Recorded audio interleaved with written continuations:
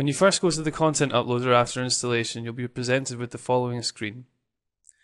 You can see a pre-installed shop sample configuration down below, with all the column references set up already, and the article format defined in this editor. Here you can see we're going to be pulling contents from the Excel sheet and displaying it in a table. Now all you need to do to begin creating articles is to select your sample sheet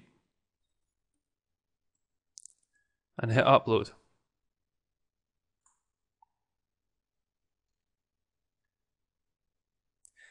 Once that's finished, you can go to the article manager and you'll see the newly created articles.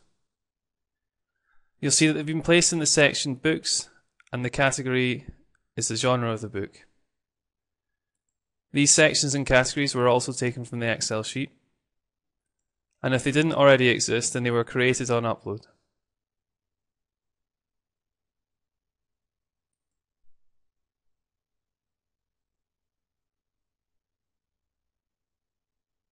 Uploading items into K2 follows pretty much the same procedure.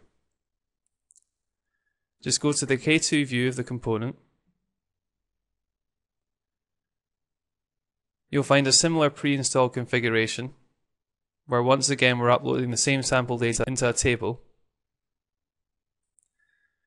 So just select this file, hit upload,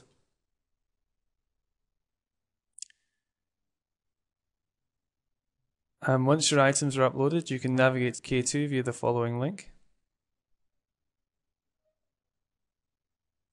Here you'll see your newly created items, placed in the order they were uploaded in. And if we go into one of these items,